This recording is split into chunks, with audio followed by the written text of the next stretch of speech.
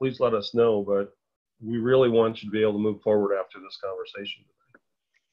Yep, and it is 12 o'clock, so let's let's get started. We're getting together. Um, Jeff and I found that at the at the intensive and kind of at our our conversations over the last couple months, oftentimes you know we buy in 100%. Yeah, we should be in a niche. It is the fastest way to grow our agency. Um, it is going to be the most scalable way to control our service offering and to really build.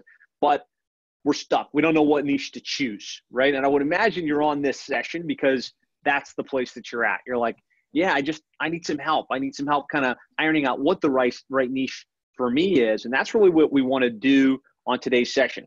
So I'm going to talk a little bit about about niche, uh, and then we're going to start to bring you guys on so that you can um, talk with me and Jeff. Um, Jeff is our success coach here, and he's really great at really kind of drilling down and getting to the net of it, um, and um, helping you figure out the the right direction to go.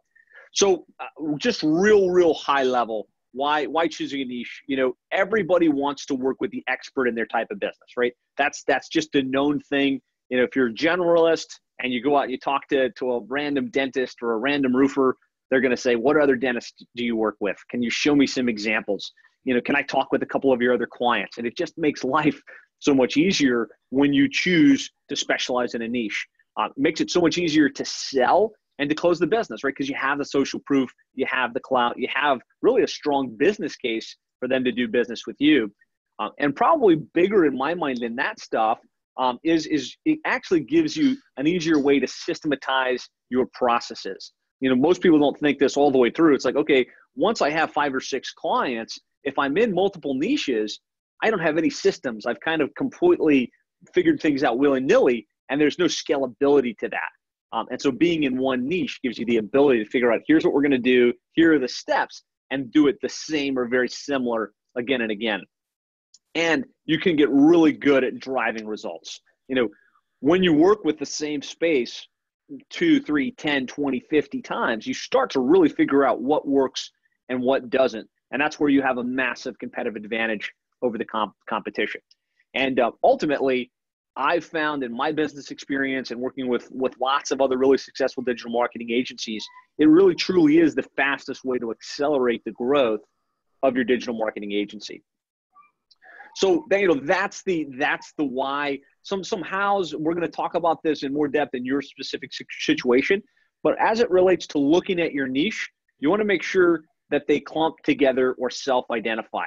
A lot of times we find we're selecting niches that are too broad. A great example of that is, and if you're going to work with home services, that's broad, right? That you know that could mean pest control, it could mean roofing, it could mean plumbing, and nobody identifies as home services. They identify as a plumbing company or a roofing company. So just making sure that they self-identify, um, making sure that they have a propensity to invest in marketing, right?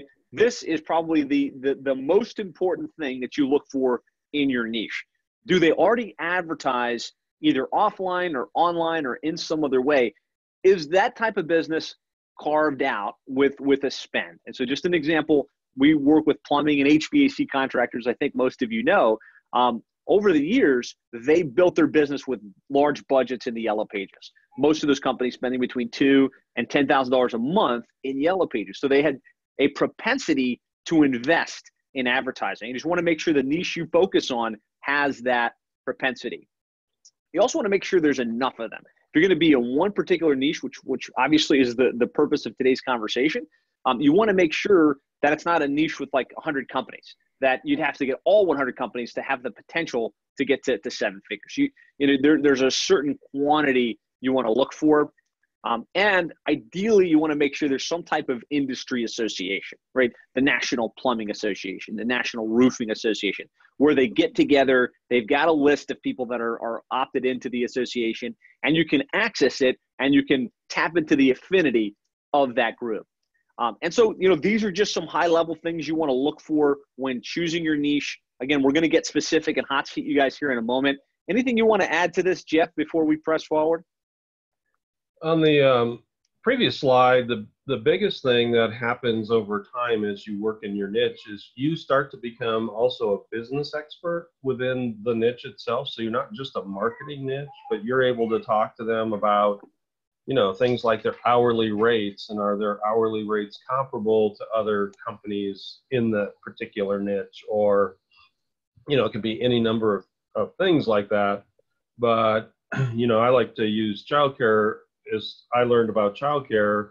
I started to learn about, you know, how tuition systems work. I started to learn about, um, you know, their not just their marketing traditionally, but what's been most successful and what the expectation of you know how many they're going to walk, have walk through the door and how many of those are going to be like uh, two children versus one child so as you learn those things you can advise other other businesses that you have. So that's a big thing that comes out of really specializing in the niche and you won't realize that at first because you're going to be totally focused on the marketing side but it does get to be really fun when you're able to stand on stage at one of those association meetings somewhere in the future and somebody raises their hand and asks what from general marketing guy would be an off the wall question but because you are the expert you can actually speak with confidence on some of those business type of of things so mm-hmm. that'd be mm-hmm. the first slide and then choosing your niche uh, the only other thing i would add here is whenever possible if we can buy a list you're always going to have an advantage if you can you know get a, a good quality list uh, Info USA is a you know good. There's other brokers out there that you know like I know for plumbers, for example, there's guys that just sell plumber lists. That's all they mm-hmm. sell. True. And so that would be the biggest thing I would add there. Awesome. So just some things to think about as you choose a niche, and um, and and now we can talk a little bit about the five, I, I, you know, five niches that that Jeff and I have identified that aren't really ideal for local internet marketing. Uh, there's exceptions to every rule. There are niches that that Jeff and I have looked at and been like, probably not a great fit, and and people have been able to to make it work. So don't feel like just because this list is here, you know, it's a hundred percent non-starter. But you know, for the most part, there's so many great niches that you can tap into that have a need for these services that can get a tangible return on investment that have the propensity to spend. It probably would be better to avoid these. And so, since I know a lot of you commented, I need to know what the five are, uh, and you're really eager to find out what these are. Uh, the first I would say is government entities and municipalities. You know, you'd feel like these are government associations that have big budgets. They should be able to spend tons of money. Um, I'm going to suggest you, you you kind of avoid them. They don't have a propensity to to, to invest in advertising. Um, they uh, you know usually you have to go through a procurement process, so I would really avoid that. Um, real estate agents and insurance agents you know a lot of times i see you know people just getting into the space they're like wow there's tons of real estate agents there's tons of um, insurance agents um, i can probably get them great results and while you probably could maybe you know through facebook advertising and through some other mechanism um, trying to generate results for them from a local internet marketing perspective setting up a website getting it optimized for search leveraging paid campaigns uh, tapping into you know the facebook advertising um, real estate agents and insurance agents, there's tons of competition. Um, there are like national groups that kind of control the paid search uh, side of the equation, like sites like Zillow and things like that. Um, I've just found these are not great niches, and it seems to be ones that everybody kind of flocks to when they think, oh, there's lots of them. I can get to them through BNI, and I can really scale a business. But they don't tend to have the propensity to advertise, right? They're not willing to spend two to five thousand dollars a month to generate leads and sales for the most part. Anything you want to add on that, Jeff? Nope, uh, not at this point. I want to know what the other five are that you use. uh, general practice doctors' offices. You know, we look at medical, and I'm a big fan of medical. There's lots of great specialties within medical, but for the most part, your general practice doctor, like your local doctor's office, um, doesn't have the propensity to advertise.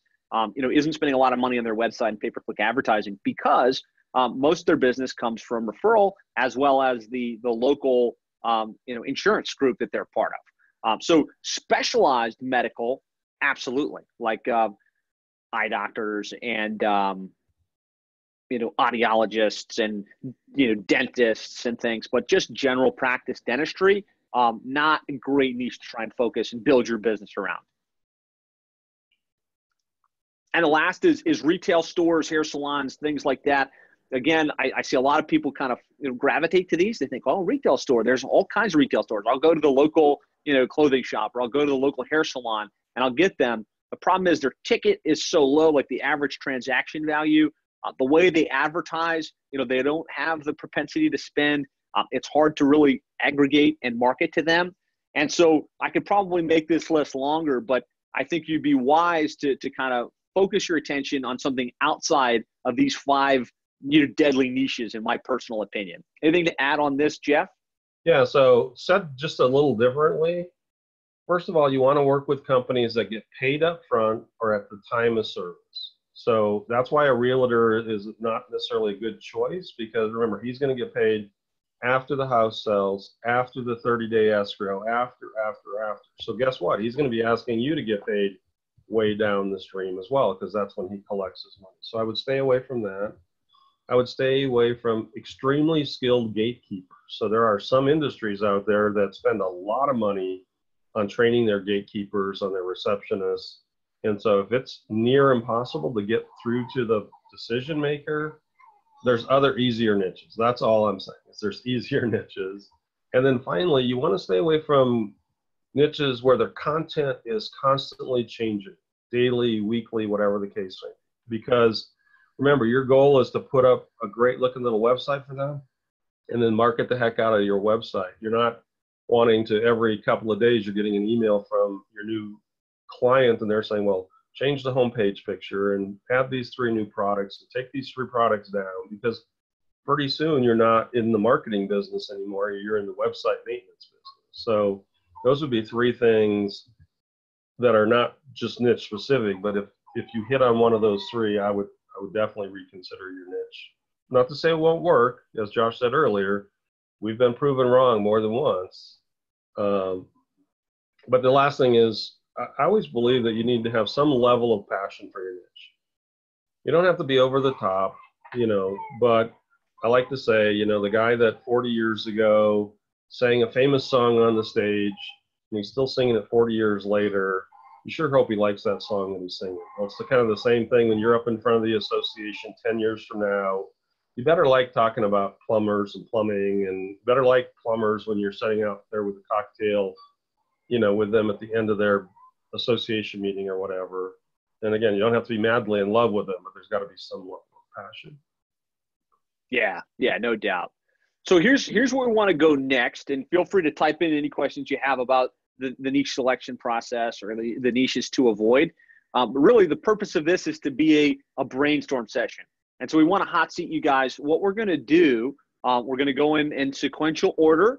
Uh, we're going to unmute you, and we're going to ask you once we make you panelist to turn on your camera, and then we're going to hot seat. And Jeff's got a great process for this to help you know get clear about the best options for you, your background, and help you narrow down and really move forward on a niche. So we get kind of get off of the I'm thinking about it and onto the I'm taking action. I'm starting to land clients. I'm starting to serve those clients.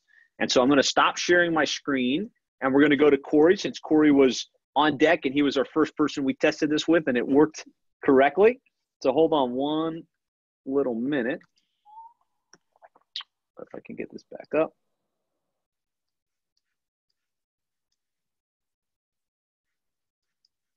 Let's do Corey. You should be coming on now.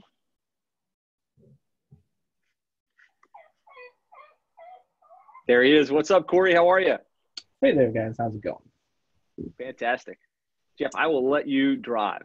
All right. So tell us about the niche you're thinking about, or if you've already selected one, let's analyze and make sure you're on the right track if that works for you, Corey. Yeah, so um, pretty much narrowed it down to two. Um, thinking either going with chiropractors or uh, the med spas. Um, those are the two we've really narrowed it down to. We actually have a pretty good relationship with a chiropractor currently that basically works in a med spa. Um, so we're thinking about you know using that guy as our case study. He's definitely you know willing to be our cheerleader where we need him to be. Um, Brian at the intensive mentioned was pretty important with his first client. Um, yeah, I think that's a good in.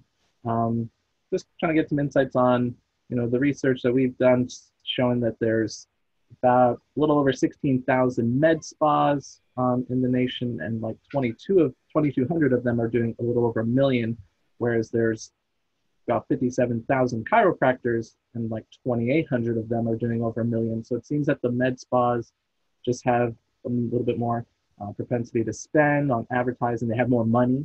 Um, so just thinking, yeah, your thoughts? Well, let's let's start with chiropractors. Okay, so when I first got into internet marketing about ten years ago, everybody was talking about, you know, uh, chiropractors. Chiropractors will be a great uh, niche to go after, and um, that you know made a lot of sense. But unfortunately, then of course, it felt like everybody jumped on that, you know, and so now all of a sudden, uh, you've got that that kind of issue that you've got to resolve is how much competition is out there chasing after that 2,800, you know, people that you've identified. I think there's more than 2,800 over a million, Mhm. but you know that's a reasonable amount. Okay, And and so that would be my concern with chiropractors. Otherwise, I think they're good. We, what you want to be doing though is you want to be looking for chiropractors that have at least three or more chiropractors in the space. They may Got have a masseuse. You know, they may have a variety of other things that work, okay, but that would be definitely something I would look at. Med spas, I think, are great. Um, I agree. I think they've got more money. Um, you know, it's more like a cosmetic uh, application, if you will. So a lot of people go to chiropractors because they're in pain and they're, you know, trying to just resolve that problem and try to probably minimize what they're spending with the chiropractor. Whereas with a med spa, just if you think about it from the client perspective, uh, less of those concerns. They're coming in expecting, you know, they're doing cool sculpting or whatever they're doing, you know, laser hair removal. They're not expecting an insurance company to pay for it. right, So that um, is good. So they're still, you know, paying attention to cost, but um, it's it's less of a factor. The other thing, Corey, is I would take med spas down one more level. So Okay. do some do some tough research on it.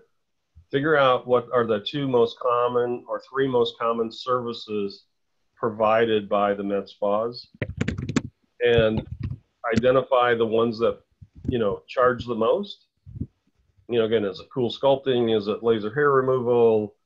You know, whatever the the case may be, um, that you're getting done, Botox or whatever, and then focus on those. Now, that doesn't mean you're going to turn away the other med spas, but what it means is that you know when you wake up every day, I like to say, you know, when I was doing childcare, it was really simple because I'm doing childcare. I know they have to have at least 75 children in the center for it to make sense, preferably 125 in the niche is much better. And so that was, you know, just the things that I, I thought about. okay. Um, and like same thing with the the chiro. You're saying, you know, you want to make sure they have probably at least three chiropractors, masseuse, and like a receptionist. That's going to be pretty legit business. Yeah, at least a half time, if not a full time receptionist. I mean, again, mm-hmm. those are going to show you their, you know, it's easy ways to figure out their organizational structure. Yeah. And obviously, if, you know, well, I have a receptionist that works Tuesdays and Thursdays for three hours, that tells you right off the bat that they're not getting a lot of phone calls. So they don't really need a receptionist and they're not going to want to write you probably a $1,500 a month check. Sure. Um, what would you say the numbers would be for things like med spas? Anything glaring? It's going to be the same thing. You're going to want to make sure they have whatever they the title is. I don't know, but you want to make sure it's multiple.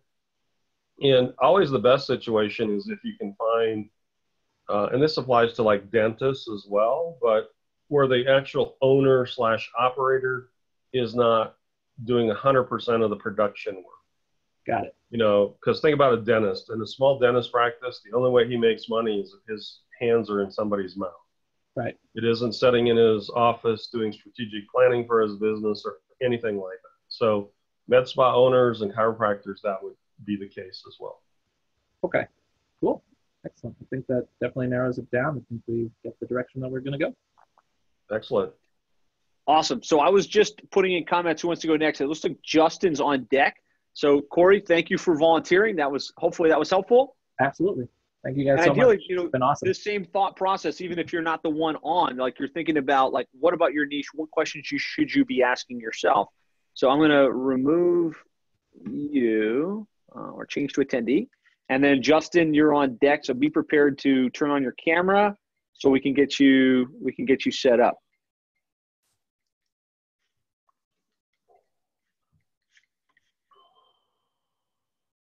Justin, what's up, man? I just unmuted you, so you should be good to go. Great, great. Can you hear me? Loud and clear. Awesome. How's it going? Miami was fun last week. I enjoyed it. Good, good. Glad glad you came. It was we had a lot of fun too. Yeah, I appreciated that. So what yeah. what what are your questions? What are you thinking about? Um, so when when I was at the conference last week, I was my niche was real estate brokers and, and brokerage teams. Um, but now I am thinking about going into the painting industry. Uh, so I kind of wanted to get your guys' opinions on the painting niche and um, yeah, just your general thoughts. Uh, I guess the reason why I decided to go to painting to the painting industry is because I, um, when I had my nine to five as a computer programmer, I actually ran a successful painting business on the side. So I have some experience with you know marketing for uh, you know building my painting business and hiring employees to to paint houses and bidding jobs. So that's kind of why I went that route. So are you going to do exclusively residential painters or residential and commercial painters? First question. Um, I guess yeah, I'm not really exclusive to anything right now, and uh, I guess another little background piece that might be helpful is that I did just land uh, my first client yesterday um, and my my angle was going to to be marketing for their for their painting side of the business but then it turned out that they uh, they do more they do painting but they also do roofing and they also do windows and doors. So they kind of wanted me to start with marketing for their roofing jobs to get them more roofing appointments. Um, so i guess i wanted some advice on that as well as it, it seems like i'm kind of broadening my my niche by taking my first client who uh, does painting but also does all these other home improvement services. Okay, so Justin, here's my answer to that. So every day when you wake up, you chase painters, okay? But you're in that unique window right now where I'm guessing you could use a little revenue stream to jumpstart your business. So, you know, one of the things that we have seen, and I want to be very careful here, is you know, in the beginning, get as niched as you can. But if there are a few clients that raise their hand that are not a perfect fit, um, go ahead and take them on because you got to stay afloat. Right. You know, but what I want to make sure that you're doing is every day when you get up, you know what your niche is that you're chasing. And by the time you get your third or fourth, excuse me, painting client, you no longer will even consider those other niches because you'll have confidence in the niche but also know that painters, you know, like any other home services provider, very often will offer more than one service. So they may do painting and siding, they may do painting right, exactly. windows, so carpentry, whatever the case may be. So keep that in mind. But the more exclusive that you can get down to painters, the better it will be over time. I think painters are a good niche. Uh, again, the my three criteria that I talked about earlier, I typically don't have a, a highly skilled gatekeeper, so getting to the decision maker is not usually that big a deal. Um, they're at least typically collecting some percentage of the payment before they start the job, so they're you know used to paying for your services along the way. So I think you're good there. And same thing, their content's not changing frequently. You know, they may update uh, there's color selection page occasionally or whatever, but that's not happening on even a, probably a monthly basis. So it fits those criteria really well. What other concerns do you have about painters? Um, mainly if they, if they would have the money to invest in marketing, because um, uh, the average job size is about three thousand dollars, and if they're spending I guess I'm just having a hard time making the numbers work for for me to be able to relay that information to these strategy calls and and helping them realize like this investment would pay off, you know, give them a high ROI. Yeah, dig further. I think you're going to find that that your average is a lot higher, especially if you blend in the commercial painters. Okay. Um, but you know, again, you don't want to go after the general painter, just like you didn't want to go after the general doctor. You want to start digging into painters that do specialty work. You know, they they specialize in um, restoration projects, for example. So they're going into, you know, 50 to 100 year old homes, and they're not just slapping up, you know, white paint on all the walls. They're also uh, staining the trim work and you know they're maybe color matching a paint color that's 100 years old. So not to say that your generalist painter won't be good but the more you can narrow down your niche you know the the higher probability they're going to have money to spend. Um, but i think you're going to see that typical jobs once you get a little further into it are going to be more in the 3000 to 7 or 8000 dollar range. And i say that based on some experience uh, I spent three years in the water fire damage industry, and we did a lot of painting, painting mm-hmm. work. And yeah, there was a lot of fifteen hundred dollar jobs. I'm not going to tell you there weren't, but there was also a lot of seven, eight, nine thousand dollar jobs. Especially, the other thing is look at the painters that specialize in. They'll move all your stuff too and cover it, and they make a big deal about talking about how they're unique and how they cover and protect your property while they're painting because remember, at the end of the day, they're selling a little bit of paint in a can, but mm-hmm. they're really selling labor, right? So the more they can sell of the labor source, the more they can charge. So again, anytime they talk about, you know, we move every room, we cover everything completely, we put it all back, you know, that's the type of painter you're going to want to go after. Whereas if you go on somebody's website and they say, hey, we specialize in empty apartments, you know, that's probably the guy you're going to want to stay away from because he's the guy that's instead of charging thirty five hundred dollars, he's charging fifteen hundred. But he walks in and paints out a place in you know four or five hours because of his techniques. Mm-hmm. But you know, he's maybe getting a little bit more per hour because of technique, but um, you're also not looking for the one man show, right? I mean, that's the that's the biggest thing here. The same thing that I told Corey you want to find a you know at least a halftime receptionist? You want them to have yeah yeah i started three, with four crews you know things like that. five million annual revenue from uh, mm-hmm. info usa yeah and annual revenue is one good indicator. Mm-hmm. but remember as you're building your list it's okay i you know i got a list of a thousand here that are all greater than a million dollars in revenue. And then i'm going to take that list and keep doing that uh, qualifying as I get smarter about my niche. And eventually that list of a thousand may be cut in half. Now that doesn't mean, I want to be really clear, that doesn't mean you can't, to the 500 that you've eliminated, continue to do cold outreach, like maybe you do doing auto, email, automated emails. Okay. But I'm talking about the ones that you're going to spend a lot of time picking up the phone, trying to, to contact that way. That's the left, the other 500 um, because in the 500 that you've called out, there are the few exceptions that will raise their hand and say, you know, even though, you know, I'm the guy that goes in and does the $1,500 apartment complex, um, I do 25 of those a day. Right. And then all of a sudden you're like, well, man, that says this guy's got money. Could you uh, explain a little bit more about how you break down that list from? So right now I do have like exactly a thousand and one um, painting companies in the USA that are doing at least 2.5 million dollars in annual revenue.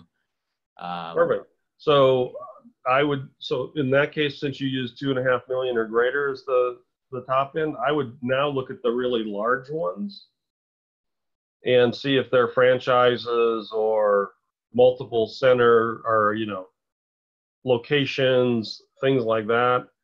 And here's what I know: if you spend two hours later today and you take and just go down your list and look at the first 20 to 30 websites and and i'm talking about spending no more than three minutes per website. So an hour maybe an hour and a half later you're going to see a pattern. I don't know what that pattern is for painters but it's there. Okay. And once you see that pattern that's either hey i want to keep these folks or i want to eliminate these folks right? So Justin, was that was that helpful? Because we definitely do need to we need to keep keep moving. Yeah, yeah, that was helpful. Appreciate that. A couple things. I think smart move moving from from real estate agents to to painters. I think that's that's a great niche with a big opportunity. And congratulations on landing your first client in that in that space. Well done. Yeah, appreciate it. Thank you guys. Awesome. Have a great weekend. You too. Take care. We're gonna go to uh, Mark Lewis next. So Mark, I'm gonna bring you on deck here, and we will keep pressing forward. Posting comments like kind of is this helpful? Is it good to hear other people um, kind of talking through their niche? Um, it kind of helps ideally get your your creative juices flowing. So, mm, Mark, get ready. I'm going to try and find you on here. There you are. Promote to panelist. There's Mark. Yeah, you might need to unmute yourself, Mark.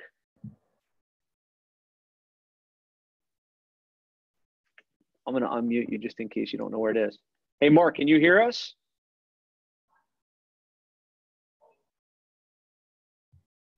All right, Mark, I'm going to hold for like two more secs and then we're going to bring somebody else on. Um, I think Eric was next after Mark. So, Eric, you're going to come on.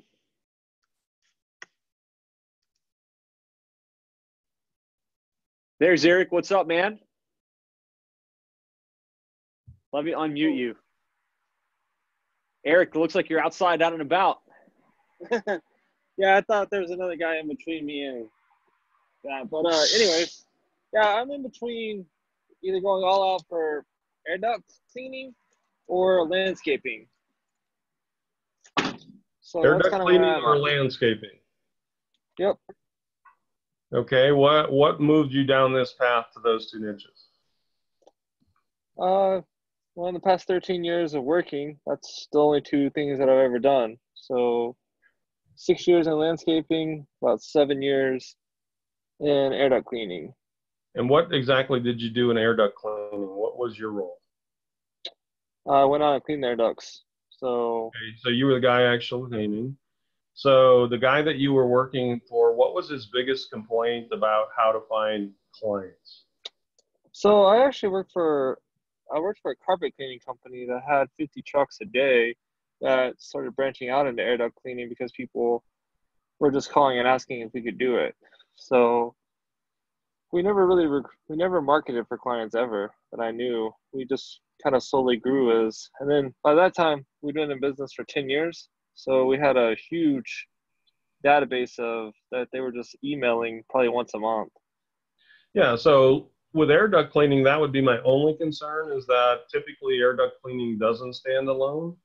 Um, mm-hmm. I'm not saying it can't, and I'm sure they're out there again.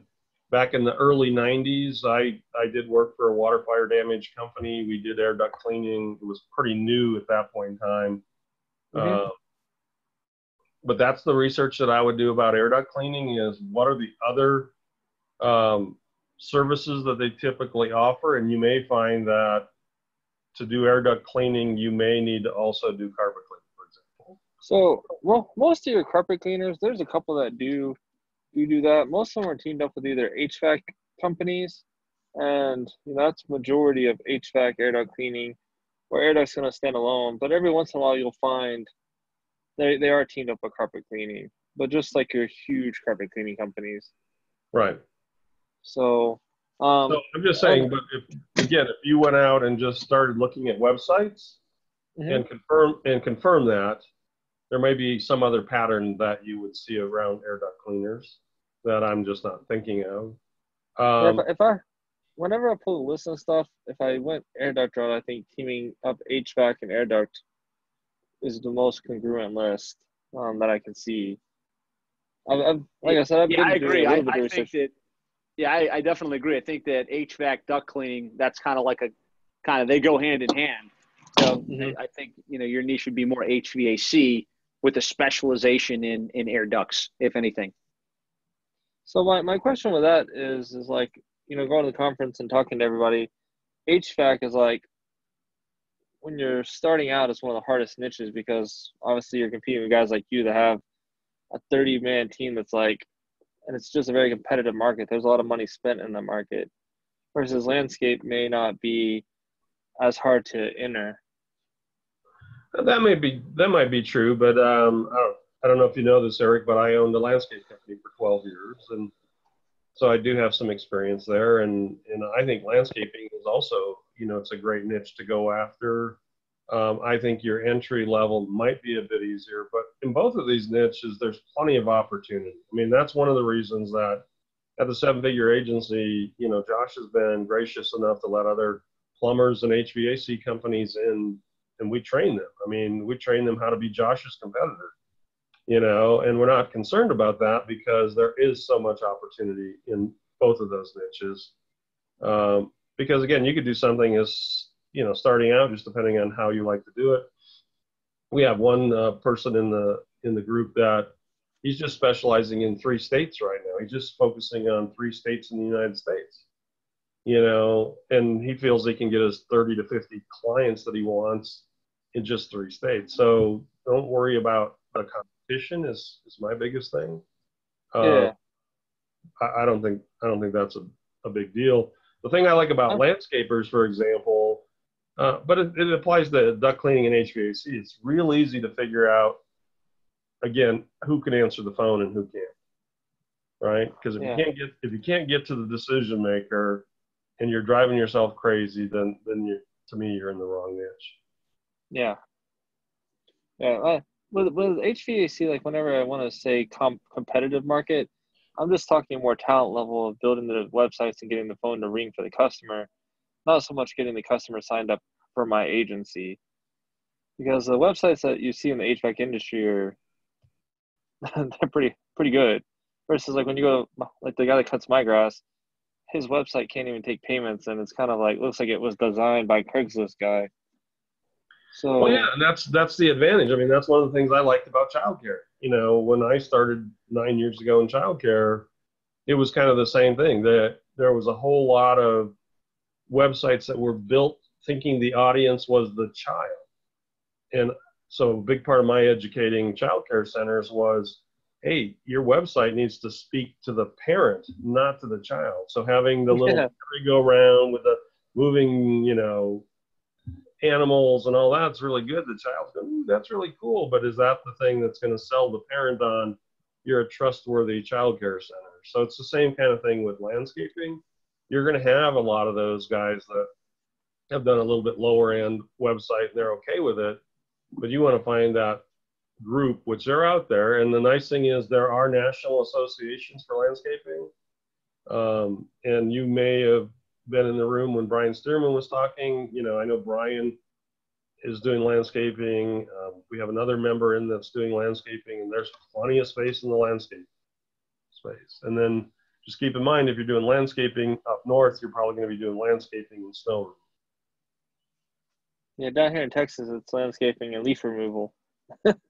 so, yeah. Just, you know, again, but remember, you can build your whole darn business if you just focus on the East Coast, the West Coast, and across the bottom of the United States, and pretty much avoid snow removal completely if, if that's your preference. And I guarantee you, you can get 40 or 50 clients out of that, whatever, 12 or 14 states that I'm talking about. Do you think landscape companies, what, like 13, 50 a month, let's design their website, do their SEO, and do their pay-per-click campaigns? That's kind of where you would. Yeah, I think your 1500 to 2500 is is reasonable price range for a good landscape company. Okay. All right. Well, I appreciate it. Thank you. Thanks, Art. So, which one are you going to focus on, Eric? Um, I, I think with my uh, with my expertise in marketing, landscape's probably a lot better for me to enter. You know, just like you said, it's their websites aren't as good as the HVAC companies until you know I have the agency staff. So probably landscape. Yeah, let's just be careful. Once you pick landscape, you're all in. Yeah, you're not doing HVAC later, okay? Because if no. you think if you're thinking that, then do HVAC from the beginning because you're going to learn real quick by the time you get that 10th, 11th, 12th client that you're not going to have time to be thinking about another niche because you're going to be busy serving the niche you've chosen. No, I'm I'm loyal to like whatever makes me have that abundant income is what you stay with. Like if it got me to be a million dollar agency, there's no reason to change. So yeah, no doubt. Good. So hopefully, hopefully that was helpful for you, Eric. You got some clarity. You yeah. kind of narrowed it down to these two. I think you're you're on the right path with with the landscape stuff. So um, okay, go go go get it. All right, man. I appreciate your time. Thanks. Bye. Absolutely. All right, we got Ricardo on with us now. Ricardo, you can go ahead and unmute yourself.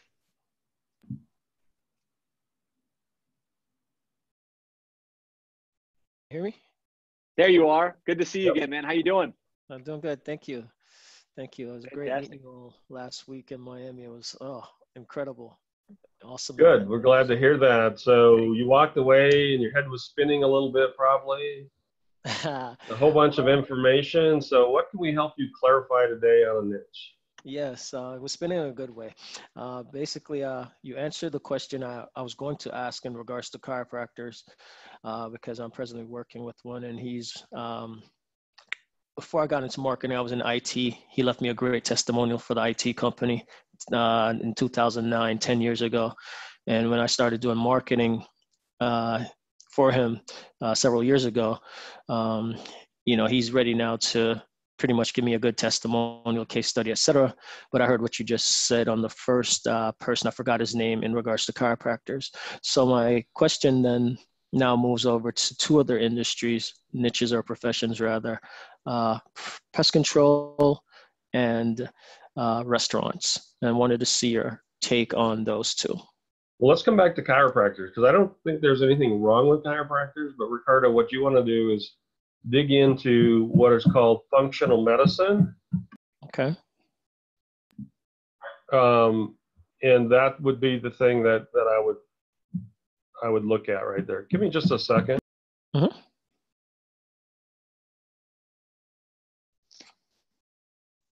We got the guy pounding right outside the window. I need to apologize for that. no problem.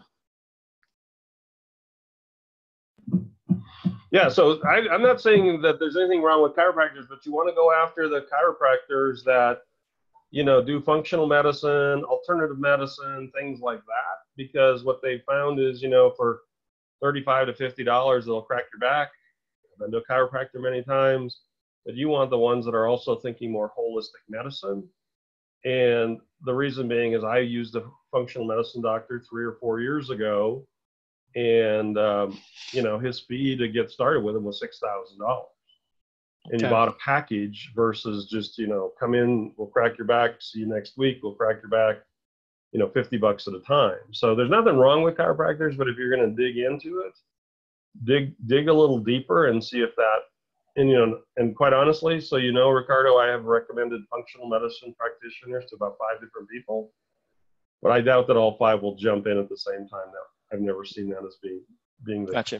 case but so now let's back around to restaurants if you're going to go after restaurants figure out a niche within the niche so you want to be the specialist in high-end steakhouses for example or you know whatever the high-end type of restaurant high-end italian it doesn't matter because restaurants are just too general Right. Exactly. you Exactly. know, if the guy, if you come in and say, "Hey, I've got three Denny's that I do marketing for, and I'd really like to do your high-end steakhouse," the guy's not going to be impressed at all. But you know, if you go in and say, "Hey, I do this local Morton's down the street, and we know Morton's is seventy-five bucks a head," right. walking out the door, you know, so that's what you want to be looking at. You want to be looking at restaurants that have a ticket of a hundred plus dollars, typically, not the ones that are having, you know, two people are eating for thirty-five. Very cool. Gotcha. Uh, And what Yep. was the third one? Uh, pest control. Um, pest control is fine. My only concern with pest control is, uh, you know, the it's a little bit of small dollar, um, meaning they, they don't get paid a lot per time they arrive. The package they sell is good, so there's nothing really wrong with it from that respect. But I would dig a little further in um, to pest control, and is there a subspecialty within pest control that you might go after? So it could be Yes. Yes. varmint removal, for example. I'm, I'm being a little bit extreme here, but Mhm. you know, if they specialized in skunk removal and badgers and raccoons and, and things Right. like that, it, Um, it'd be a little easier to rank them. Gotcha. Uh, the reason why pest control, I used to work for a pest control company not too long ago, actually. And basically, it's here in South Florida. I live in West Palm Beach and uh, pretty much on the coast from Miami all the way up to Melbourne. It's just mansions. And so this company, their specialty was in lawn and ornamental care, where they took care of lawn care and maintenance for that, the pest control on that side. And their ticket was very high because of the different homes we were going to or the different communities in Palm Beach and Boca Raton and Fort Lauderdale and Miami, et cetera. And so that company was averaging about seven million a year for their pest control company. Yes, they did have another side for you know the rodents and the mosquitoes and the bugs and all that, you know termites, whatever. But their main um, uh, revenue was coming in from the lawn and ornamental care. And I see a lot of those companies, especially here in uh, South Florida, California, certain parts of Texas, et cetera. So I was wondering, should I focus on that particular uh, side of the pest control industry that fo- that does the lawn and ornamental um, versus the ones that just do you know the typical termites and bugs? Yeah i mean that's that's a great example ricardo of niching within that niche right? Mm-hmm. finding that sub niche within there. And then you know the the research that i would do is i would look at three or four other states to see you know do those kinds of uh, pest control companies exist in those other states? I'm assuming they do, but yes, mm-hmm. just you, know, you want to make sure. And again, the beauty of pest control is you can build your whole business down east, west, and bottom across the bottom, and not have to deal too much with seasonality. Then that was my other question, the seasonality, because I know certain um, states, you know, um, the seasons kick in and there's nothing there. So, okay, great. great. What, I, what I hear in your voice is I hear a passion for pest control. Well, you know, um, you know something about it already. You, you know, you've done some research, and so if there is a level of passion, if I'm reading that correctly, it's the one I was leaning to the most. Um, the chiropractor, uh, I just met with him actually last night, and I told him what I wanted to do. He asked me, actually saw a Facebook post of mine. He's like, "Hey, what's that seven figure thing I saw on your Facebook um, page that you posted uh, last week?" And I said, "Oh, you know, it's this awesome, amazing thing that I found, and you know, it's focusing on one niche." And he's like, "Really?" And I told him, "Hey, you know, this is maybe an this is a um, a, a professional niche that uh you know that could be considered. He said, "Hey, you know, I'll help you. I'll leave you a, a, a testimonial. I'll, we could come over, bring your video camera.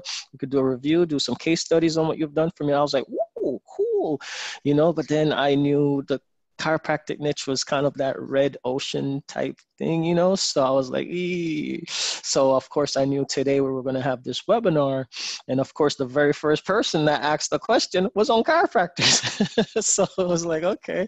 So of course because I worked with the pest control company, and know that um, industry a bit too, you know. Um, I was like, okay, you know, and then know the sub niche of what they provide there. And then also work with a little rest you know some little small restaurants in the neighborhood you know not the big steakhouses but i do understand what you're saying there. Those would be the ones to go after in that particular prof- um, that niche of restaurants. But yes pest i would agree with you pest control is the one i'm leaning to the most. Go for it. You got the passion you know i heard it in your voice. You got a little excited there talking about it. You know something about it. You're already thinking about high end pest control you know, yes. the bigger houses, the bigger yes. facilities, that kind of stuff. So you, your mind's in the right place. So I was okay. going down that path if that works. Thank you so thank you so much. I truly appreciate it. Yeah, and Corey also mentioned you might want to look at um, the, the the places that specialize in tenting the homes. So that's just mm-hmm. something to um, to potentially think about. Okay, great. Thank you, Josh, and thank you, awesome. Jeff. You're welcome. Good, good. Hopefully, hopefully that was helpful for all of you guys. You know, like you're looking for the passion, you're looking for you know good fit, you're looking for propensity to spend, and so even if you're not on the hot seat, be, be thinking about this. It will fine tune your ability to to make sure you're in the right space within your your agency. So um, let's go to let's go to Gene Lewis. Gene, I'm going to unmute you. And oh, I go by Jeannie, by the way. Hi, I'm Jeannie. Oh, I go by Jeannie. Sorry about that. Jean and everything. That's okay. Glad to have you with us. Thanks. Happy to be here. Thanks for doing this. Absolutely. Yeah, I I'm kind of beginning. I've I've scrambled around a little bit. I I have something that's a bit unique. Um, so I focused on that, and that's kind of held me back a little bit, just because it it's so unique that you know nobody knows what it is, and people are a little afraid of it. Um, so doing the traditional stuff um, I mean, I really haven't really gotten off the ground. I can tell you what my passions are, and then I'm always afraid that there's so much competition in everything that I'm just like afraid to go in any direction. Tell me your Uh, passions. Let's start there. I like pretty stuff. I mean, I I love interior design. Florist shops. Hmm. Florist shops. What kind of shops? Flower shops. A flower. That's a great idea. Yeah, I mean, I'm looking looking to make as much money as I can, of course. um, Well, you know, I, I'm I just throw it out because you, you like pretty things. You and I talked pretty one time thing? before, if I remember right. Hmm? You and I talked like over a year ago. before. we did. Yeah, You but know. not like this. Yep, exactly. And so, if you know, I have a life insurance client, and he's using my unique thing, good. and it's working. It's just that I don't know. I'm, I'm just. I feel like it's taking forever for me to get. I've had people try to steal my unique thing, and I just want something stable and long term, and I don't want to switch to accounting. Yeah, and and so you know, normally we don't recommend a retail store per Right. se, but flower shops, which by default oftentimes are gift shops. You know, uh, their websites a lot of times they'll have like their standard. Here's our ten, you know, bouquets, designs, floral arrangements, so they don't violate the changing the the stuff often. hmm Um, a lot of them, like I know here in the greater Reno area, we have a company called Sparks Florist. They have four locations inside of, you know, we're roughly a 350,000 population. The nice thing with multiple location, like flower shops, is of course they're going to get the benefit of, you know, you're not just marketing one location, you're marketing four. So you're not going to charge dramatically more to add on those three additional locations. So their costs get spread across four different locations. What kind of price should I charge that kind of thing? What price could you charge that thing? To them, what do I charge them? Uh, thousand to three thousand dollars, I think is is very doable in that. But let's Is that per month? Per month.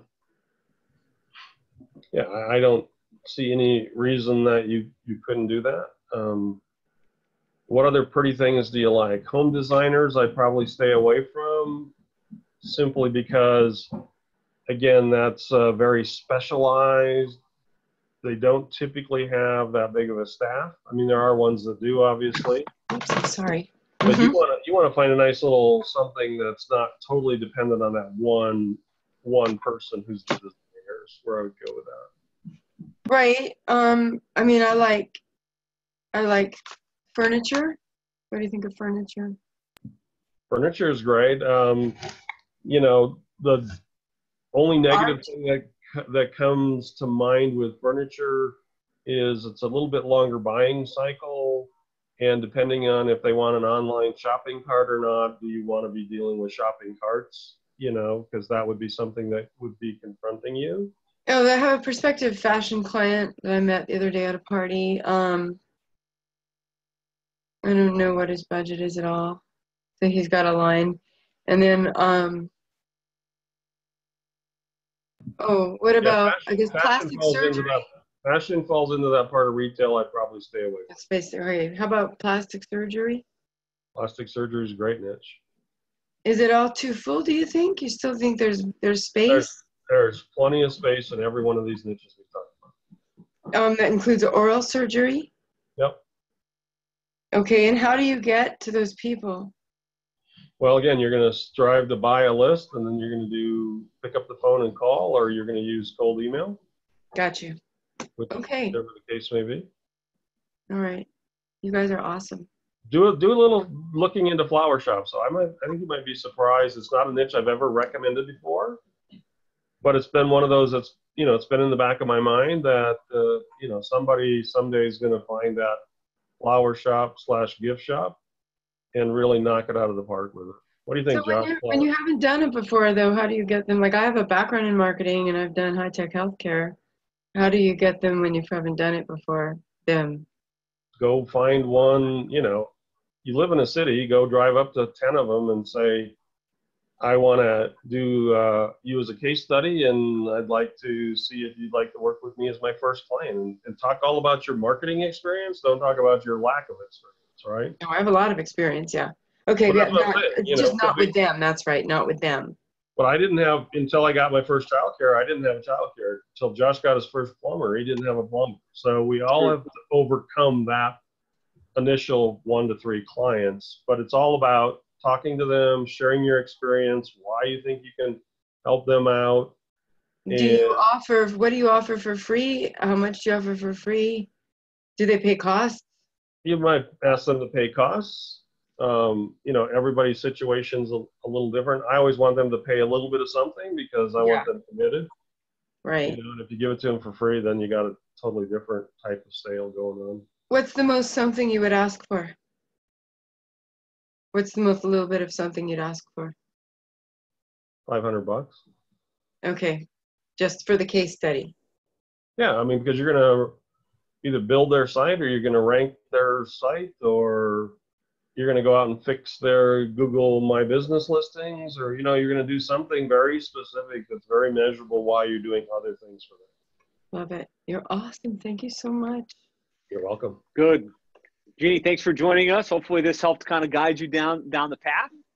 So we're gonna we're gonna move to um, we're gonna move to Mark. So let me unmute you, Mark and Jeannie. Thank you for We're joining us. related. Yeah, I know, same last name though, right? Yeah. Yeah. Mark, what's up, man? Can you hear me? Loud and clear. Okay. All right. Sorry about that. We do we do Zoom in my conference room on my laptop. I never do it on my desktop, so I don't think my microphone's working. So, right. anyways, um, worries. so I, since the meeting, um, the next day uh, we actually had a on that I think it was Thursday. We actually f- went fishing with a a pest control client, and um, so I was kind of thinking pest control. Talked to them. We're doing a TV campaign for them. Um, talked to him. His brother's currently doing his, his SEO, and, and it's a very successful business. And I'm like, well, this is great. He's got a, you know, he's going to have association, be able to get in there and whatnot. So uh, the TV campaign is moving forward. It's going to start next week. Um, so then I was originally, then I was like, okay, that's one I could possibly look at. And then I was thinking, well, we're just launching a, a website that we just did a bunch of video work to, and we did we launched a website. We're doing some PPC for a hotel lodge up in North Carolina. I'm like, well, that's fun. That'd be fun doing a hotel, kind of you know get to travel.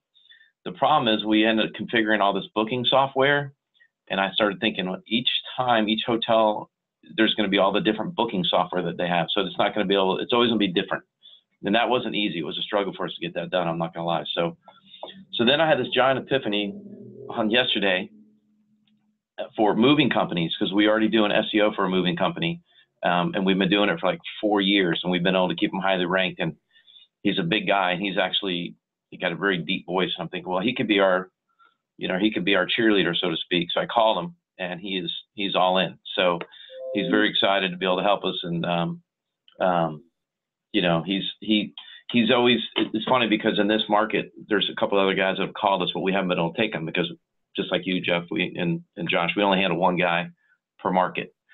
So um, that's kind of where we're going. We actually went ahead and bought some domains and everything. So i think we're going to go with the moving company um, just because we have experience. I have past results that i can show um, for multiple years and then i have a guy that's big in the business and he's actually in the process of franchising so that would be a lot more clients for us if we get. He's already contacted us about doing the SEO for these other people. So that's Yeah, kind of I where think- I'm leaning.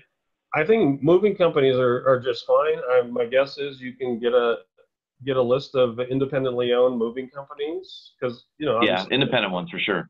the big players out there. A natural Yeah. spin-off of that is you're probably going to also be looking at doing storage facilities because a lot of those small independents have a you know relatively small storage facility they also rent out. So I would I would think about that as well. Um, they have an association, is my guess. So you Yep. you're good to do Yeah, on he's that. already talked to me about that. Yeah, I think I think moving companies are are great. Quite honestly, I don't think we have anybody in the membership group that's uh, active doing moving companies. There might be some silent We person. have, yeah, we have one other that's doing really well in moving, um, all paid pay per click. So I know it's a good space. They have a high propensity to advertise. You've already got that one case study. So I think you're on a great track. I'm glad you said you had that that epiphany moment. It's like, yes, this is a you you kind of already got three steps down the road with the the past case study and this guy kind of already on board and ready to promote you. Um, I think you're on a great track.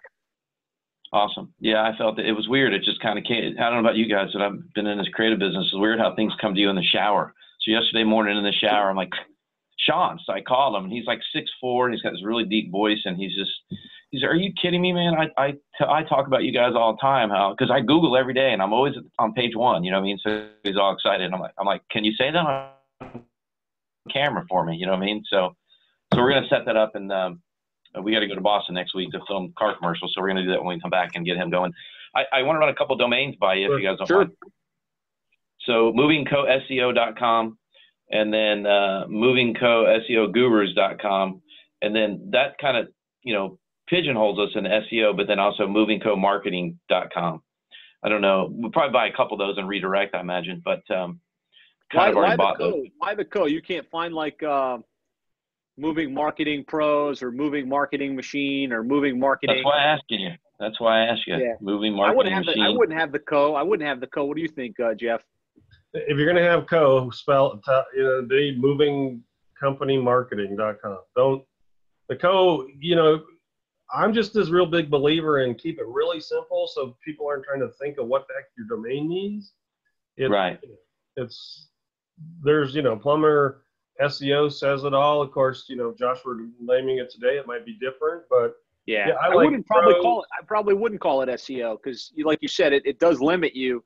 Where marketing, internet marketing, digital marketing, digital marketer at the end of your domain, um, kind of gives you the opportunity to talk website SEO, pay per click, social media, and anything else that comes down the line in the future. Right. No, that's the- you know my company's been around for a little, and it started as a production company, so we're still Tightline Productions. And we get pigeonholed. People think that's all we do. And like, no, no, we do media buys, we do digital, we do web. Oh, really? I didn't know that. I'm like, well, you haven't been to my website, but so I, I know that feeling. So, Josh, you said one a minute ago, moving company marketing machine. That's kind of long. I think that's what you said. Moving marketing, moving marketingmachine.com. Like I, I kind of like throwing machine or something like that at the end of it. Um, Correct. Moving Okay. marketing machine. check out moving marketing pros or professionals. I Moving know it's a little, it's a little long, but remember, it, we're past the days of you got to type it in all the all the time. You know, Right. so you, you've got that. Um, Okay. or you Cool. can do moving professional mark professionals marketing. Gotcha, gotcha. Well, I've been working on my business a lot because I got a lot going on, trying to keep it running and trying to keep the funnels coming in, you know. And then every day at five, I've been working, getting up and working on this thing. And we've been doing like we've been doing some strategy sessions. I've been looking at different, uh, like we did a SharpSpring webinar the other day. I came back from the meeting in Miami. I was only there one day because I could only I had the next next day that trip lined up, and my mind was full. So now I'm trying to go through it and decipher it all and make a plan. So I appreciate. I mean, you guys have been just awesome. It's been very, very, very helpful. Fantastic. Glad you joined us. Yeah, man. All right. All right, guys. Well, Yo. appreciate it, man. You guys have a great weekend. Talk, talk to you soon. All right, Josh. Gio, Thanks, man. you're- you're up.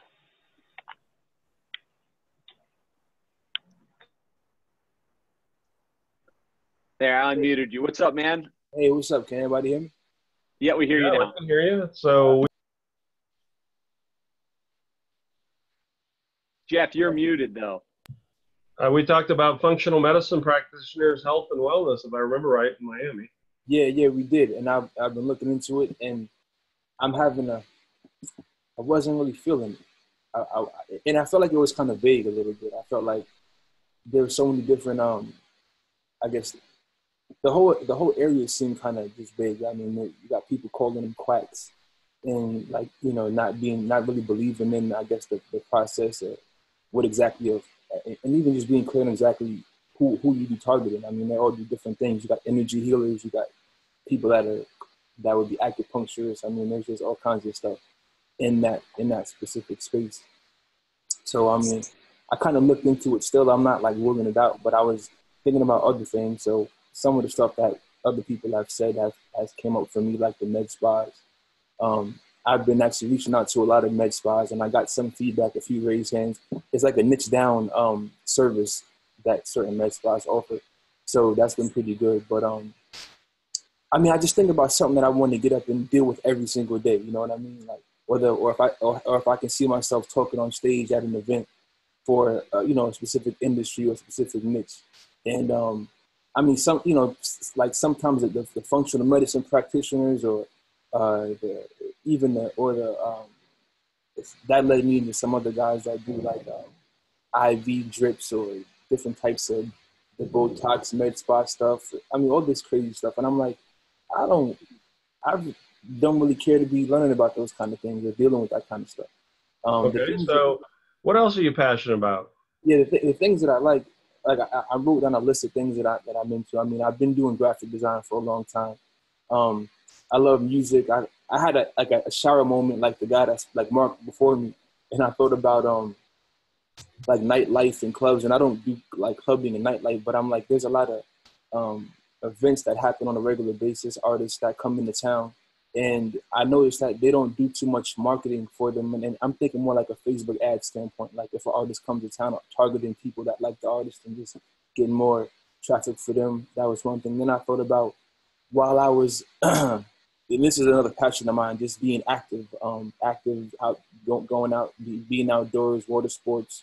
Um, I mean, anything, man, hiking, taking my kid to trampoline parks, like the skate parks or any kind of thing like that. And so while I was on uh, Groupon looking for more prospects for the med spa niche, I was like, you know what, let me let me look to see what are the top selling offers on Groupon and maybe get some niche ideas from that. And so the it's again it's still kind of general, but the recreational stuff, like I'll give you examples like indoor indoor playgrounds for kids, bounce houses, or even down to like axe throwing or rock climbing. I felt like I was wondering what kind, if you had if you um if, if you had any suggestions for if I was to consider marketing for companies that that offer those type of those type of things, like everything from skydiving to all the things that I just mentioned. Yeah, I think all of those are fine. My my concern is it's kind of all over the board. My first thought is just based on my experience, they'll tend to only have one location um, they're they're tending to always struggle, so they're going to be hoping that you're the savior per se. But let's jump back around to uh, the reason I would stay away from nightlife stuff is back to remember one of those criteria about the niche is you don't want their stuff changing a lot. Yeah. So if you got a nightclub and you know every week you're having to put up the new new act that's coming to town or multiple acts if they got you know like two or three acts in a week, so you got that. But how about music stores? Yeah, actually, I yeah, I, I thought about that. Um, not too much though. I was driving by one yesterday, dropping my son off to daycare, and I and I, I that I, that was the, in the whole like um uh uh like le- I saw lessons being offered. So yeah, so, you've got lessons and equipment rental, right? Yeah, yeah. And so there's two things that they're going to want to promote a lot because that's what rec- creates for them their recurring revenue right? People walking in and buying a piece of sheet music or whatever, I mean, that's a one time transaction. But I always like to look for companies that have some type of recurring. So when they rent out, you know, a whole swatch of equipment to the high school for a year, you know, they're getting paid every single month for that equipment while it's out. Um, lessons, the same thing. Nobody signs their child up for one lesson. They sign them up for five, ten, twenty, five years, 10 years, you know. So you've got that. The other thing is they have a facility, so they have a need to drive traffic to their location. Mm-hmm. You know, so that that's a positive in the sense of, you know, if you did a music teacher that works out of his house, that's going to be a little different. Yeah. But I, you know, again, music store's been one of those running around in my head for a long time because the right music stores that specialize in, like I say, equipment rental and teaching, they, they got recurring revenue. They want to keep that and grow that revenue. Yeah. I can see that. I mean, so what, what about places like, um, like these paintball places, or I mean, these guys, these guys that they come, they have memberships and they come maybe weekly or monthly, or I don't know, the, I don't know, the, uh, just those type of activities? well, go on to Info USA and see how many paintball companies uh, in the United States are over a million dollars. I mean, that really becomes the issue there is are they big enough, right? because I'm guessing you got a little, a lot of little guys out there that you know they're in the three hundred, uh, five hundred thousand dollar range. Mhm. Um, and they're high margin probably is, is my guess, but I just, you know, the first thing people cut out uh, when the economy goes bad is is that kind of entertainment stuff. So, you know, you, you may, you know, and again, I'm just taking it back to the music store, but you're probably not going to stop little Joey from going to music practice if the economy gets bad. But his his Saturday afternoon paintball club or that whatever he's in may go away.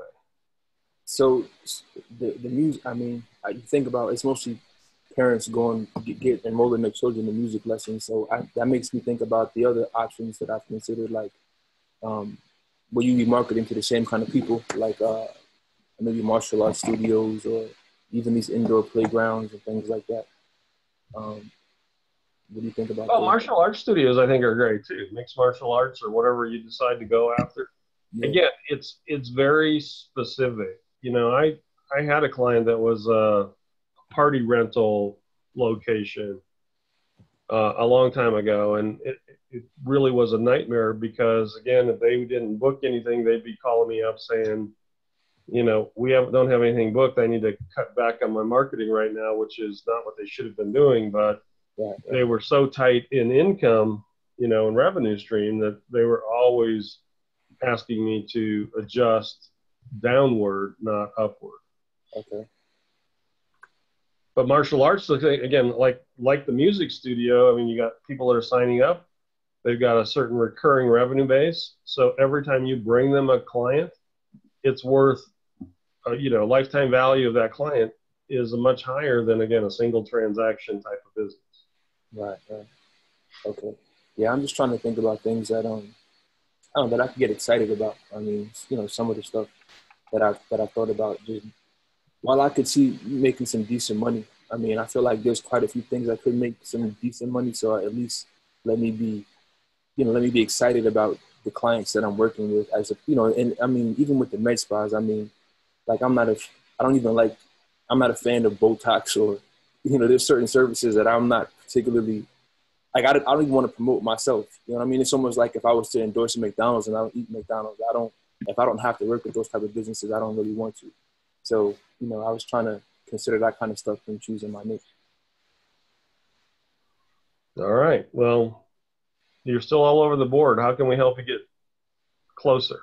Um, I think I think for me it might just be like uh, working with some of them, like work, working with a few different niches and, and feeling it out. And uh, like I've gotten I've gotten some feedback. I got a call I got to make today uh, for for a med spa. Um, but yeah, maybe just trying a few different niches and seeing you know running the campaign, seeing what it's like. Uh, uh, also, I think a big part of this for me too is I, I'm thinking about it from a standpoint of running Facebook ads for them, even though I, I, I mean, I'm experienced with WordPress. I can set up the websites, but I've never done SEO. Um, I think it's important. It's something that I'd like to offer. That's another reason why I want to get involved with the, uh, with the, with the seven figure agency to have, to help, you know, um, get a good grasp on that leg of the business. But um, when I think about Facebook ads, it's just, it's easier to run ads for these type, you know, these, these more appealing type um, activities or something like that the, the results and the conversions seem to be better. So I think that's yeah, med spas again, martial arts studios. I I would I would start with those two. Really drill down on those two. One of those two will work for you. okay. All right. We want to, we definitely want to get two more hot seats in, uh, Gio. Hopefully, at least this kind of gave you some thought process around it and kind of helped to rule out some things. So thanks for joining us and uh, keep keep pressing forward, man. You know, try and find the one that's going to gravitate to you. Sometimes the niche finds you as you go out land uh, three, four, five clients in one particular space. All right. Okay. Thanks. So I'm gonna bring I'm gonna bring Howard on on deck, and I'll just say, you know, like this is what we do at the Seven Figure Agency. We have weekly coaching calls just like this, where the members come together. You get to talk about what's going on, where you're stuck, how you need help. You know, choosing your niche right now is just like one small piece of the equation, right? It's like phase one of literally hundreds. You know, from how do we go out and land the clients on a consistent basis? How do we position ourselves? So, you know, you know, for those of you that aren't members, just kind of think, you know, how would this benefit you as you look to to grow and scale your digital marketing agency. So let's uh, let's get you on here, Howard. Um, actually, you're already on, and you're already unmuted. So tell us what's Yeah. going on. Hi. Yeah, for some reason my camera's not working. It was working last night, so. I know, and you get all these cool pictures and stuff on Facebook. So I know you you've got the the tech to do it. All right. So, um, yeah, uh, I, I was uh, thinking along uh, similar lines to Geo. Uh, you know, I'm a musician, and the mu- music stores, music lessons. I just don't think there's enough revenue there to support um, high ticket services. Most of the music store space is really taken up by uh, three or four of the big box stores. There's, there's not too many, you know, small local music stores that are making it these days, especially with online uh, music uh, gear purchases and what. So, um, at any rate, so I, I was also I, I was also considering uh, med spas, uh, and uh, I have the same same feeling about it as Geo. Uh, you know, I'm not really uh, uh, excited by the idea of the Botox and microdermabrasions and things like that. Uh, as far as dealing with it every day as a service or creating content around it. Um, and I've been trying to break into the personal injury attorney niche for the last uh, six weeks or so with LinkedIn. And um, while I'm getting uh, people who are connecting with me, uh, I've been following up with automated emails, and uh, I'm not really getting any. I'm not getting any traction on that. And uh, part of my USP with that niche has been uh, I signed up for a, uh, a service that does like artificial intelligence and they have data around people's behaviors and blah blah blah. So that so uh, that would give me a, a, an edge over you know your other your other uh, uh, your average company. But Is that have the um, is that the Josh Harris stuff you're talking about? is that- yes yeah Okay, cool. Cool. and um, you know, and he recently, you know, everybody's been piling into the personal injury attorney, so he's limited now the data on that. He's got a wait list on that. So, so if you don't have the data, you know, now you're you're you're marketing to the haystack instead of the needles, and that's the whole USP really goes down the drain. So, um, um, I'm trying to find a niche that there is uh, data available for that I can tie it all in together and I can upsell them to a more a pricier uh, service because the data by the time you're done with the data if you have white label uh, white label ad managers uh, etc it's you know uh, I got to charge five grand to make two grand on a, on a you know and not not every niche can can handle that plus I have no uh, case studies yet for that. And um, I don't want to spend three grand trying to get a case study and, you know, maybe it works, maybe it doesn't, you know, that kind of thing. So uh, attorneys, you know, legal, you've got five different legal niches here, which uh, are solid niches. So I, I tend to uh, want to do legal as a niche, um, although I'm not your you know, I, I don't look like Josh, you know, all tucked in and neat and, you know, coiffed and all that. You know, I'm sort of a little rough and ready there. Um, and uh, so, you know, I wonder, you know, same thing with the med spas. You know, I'm not really um, very uh, uh, neatly put together in, in terms of fashion and whatnot. So I don't know if I would be uh, you know, a, a, good fit for that niche. So that brings me to home services. Um, and, uh, you know, roofers tends to, uh, you know, I have a lot of experience with roofers. You know, I, have done a lot of home services in the past. And um, so, you know, that that's where I'm at. I'm sort of like wondering, okay, how, how, uh, how important is it to have a, uh, uh, a uh, affinity for the niche, uh, you know, and I'm, I'm assuming if I'm working with it every day, I should be have an affinity for it. Yeah, well, remember, it doesn't have to be. A, first of all, let's let's talk about your appearance. You know, you you dress well, so you're fine there. Um, you know, it's just one of the things I bring up is the suit and tie crowd versus not.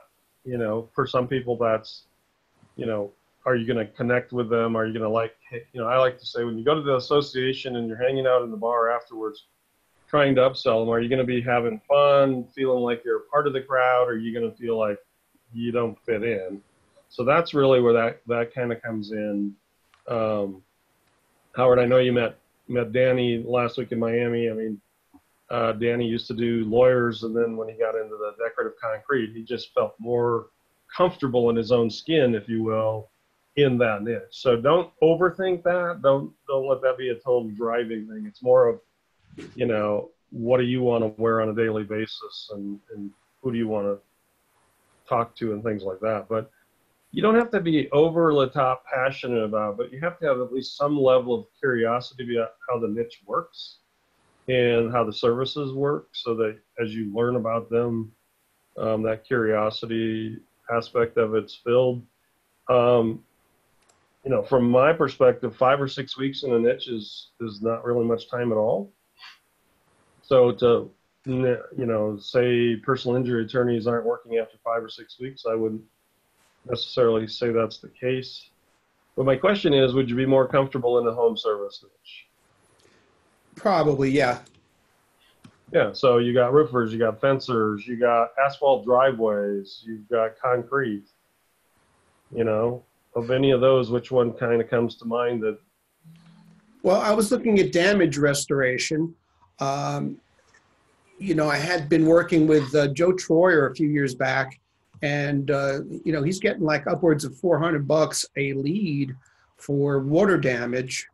And uh, I know Jamie, um, you know, last week was talking about you know water damage as a as a great niche. Now, I would I was assuming more or less that that water damage is is a, is a heavy insurance uh, fueled niche, rather than um, you know someone you know calling up out of the blue and, and know off of lead gen kind of deal to uh, to hire that kind of a service. Is is that the well, case? So since I worked in that niche a long time ago, here's here's the the trick to that niche is you're right. A lot of that is insurance driven in if you want to call it phase two, okay? But in phase one, which means, oh my gosh, I got you know six inches of water standing in my basement right now. Um, unless that person calls their insurance company and says, "Who should I use?" They're going to go to the web. They're going to Google, you know, water extraction or whatever variation they're going to do, and they're going to pick the first person that can show up to deal with it. So, what guys that specialize in damage type niches know is getting through the door is the hardest part. So if you can help them get through the door, because the other thing is the law states that, you know, unless they've signed exclusivity with that insurance company to a certain provider, that they can pick and choose their own service provider. So I know when I did that back in the in the 90s, we were all about getting through the door so we would have the opportunity to sell the phase 2 part of the services, you know, while we were extracting the water or cleaning up after the fire, whatever the case would be. So I think that's a that's a great niche. I think one of the things that you need to look at, it's interesting, but you want to go after states and even down to as far as cities that have a lot of a lot of weather activity. Because in you know, if you come to Reno, Nevada, for example, I mean we have seven inches of rain a year. If you go into another uh, city that has 50 or 60 inches of rain a year, there's going to be much more water damage work than there is in Reno, Nevada. So things like that, places that yeah. have storms and, and, things like that are going to also deal with all kinds of damage restoration. And then you have to decide, are you going to be water exclusive, fire exclusive, damage overall exclusive? You also have within that space, Howard, you have what they call boarding up services. So you know, you've got companies that they specialize in just, you know, when there's a hole in the roof, they go throw on the plywood and put on the tarp and, and stop the damage from happening any further or minimize the damage. You mean as a roofer or as part of the water damage niche? Part of the water damage niche. There's guys that that's how they initially get through the door is they specialize in you know patching the hole or stopping the leak or whatever the case may be. So, if Hey Jeff, we've got a we've got a couple minutes left, and we've still got Tyler on on deck. So I just wanted to make sure you know the the time frame. You guys just wrap wrap up. Hopefully, we'll make it as productive to wrap that uh, with Howard as as possible. Hopefully, Howard, this has been helpful. Yeah, I mean, is there a um, and and this might be helpful for everybody? Is there sort of a uh, a dip your toe in the niche kind of uh, process that we can test out our niches? You know, maybe throw up a a pay per call campaign or a Facebook ads campaign or just something to uh, you know get our feet wet and see. Uh, no pun intended. To to see if uh, you know if if the niche is going to is a good fit for us. I don't have any suggestions for that. Maybe Josh does, but I'm I'm more of a once you jump in, work it hard and crazy for 90 days, and Okay. I mean, All do you have do you already have a general type website up? Yeah. So then go on your general website, add two to three pages about a particular niche. Let's say it's water fire damage. Don't build out a complete niche website. Go out to your point, then go out and sell water fire damage for the next 60 days. And then once you've got your third or fourth client, then come back around and build out your niche specific website. Okay. That sounds good. Thanks, Howard. And hey, show up on coaching call next week and we can keep we can keep narrowing this down for you. Yep, Wednesdays is your time. Yeah, press forward, jump on Wednesday, and and keep taking action. Okay, great. Thanks, guys. Awesome. So we're gonna we're gonna do one we're gonna do one more and then we'll we'll wrap up because Jeff's got another meeting and I've got a webinar starting at two. So um, let's go to let's go to Tyler. I'm just gonna unmute you and we can. Tyler, can you hear us? Yes, I can. Awesome. Welcome. How's it going? Good. How Fantastic. about Yourself? Good, good. I'm doing all right. So my name's Tyler. I'm 25. I am from Minnesota, uh, but I just recently moved to Florida. Um, uh, the two niches that I'm really thinking about right now are going to be tiny houses or shipping container homes and um, home remodeling or specifically kitchen remodeling. And I would just like to hear you guys' input.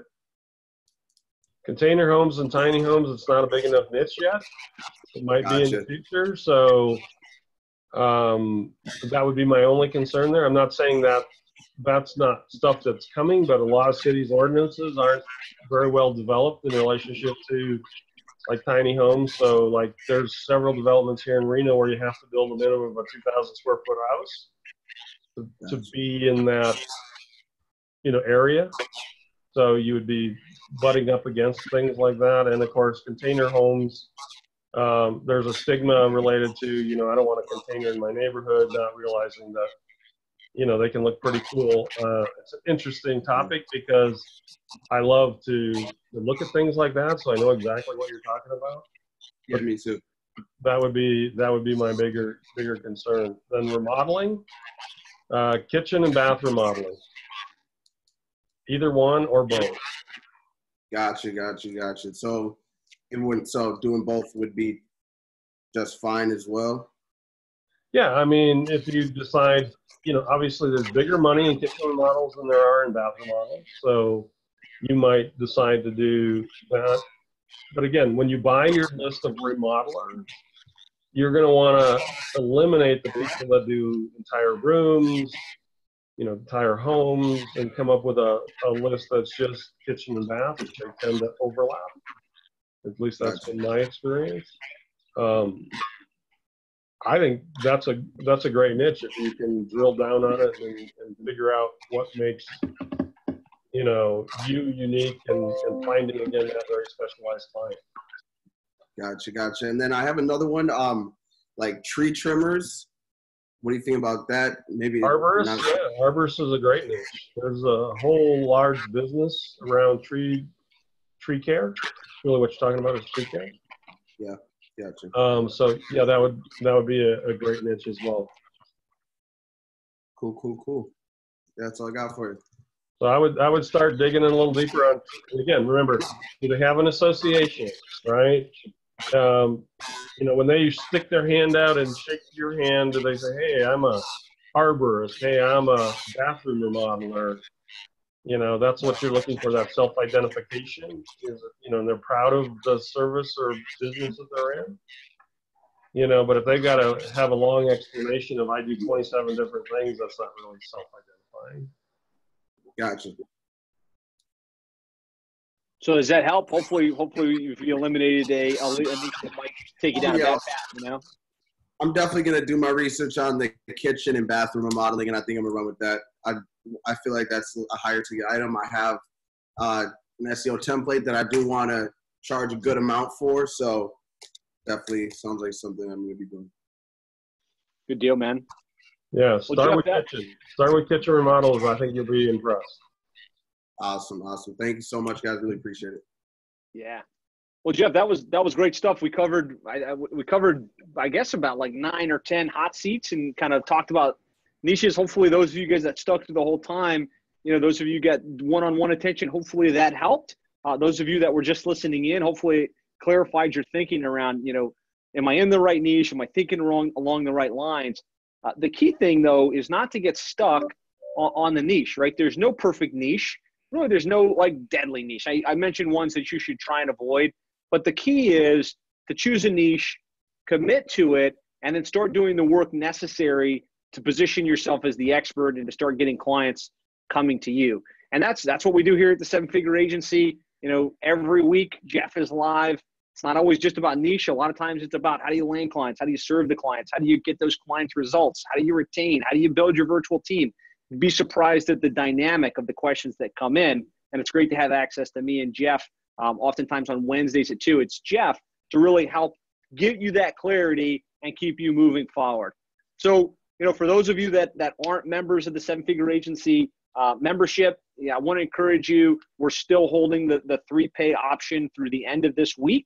Um, it's kind of a no brainer. If you're serious about running a digital marketing agency, you know, being niche focused, uh, getting clients, serving clients, retaining them long term, you know, we've got the tools, we've got the resources, we've got the case studies uh, and we've got the support that you need in order to, to really move yourself forward. So, um, you know, if you haven't already, I'm really going to encourage you go to sevenfigureagency.com slash start. Um, you know, a lot of you guys are already members, so you know you're in. Don't worry about it. uh, but those of you that aren't, you know, sevenfigureagency.com slash start.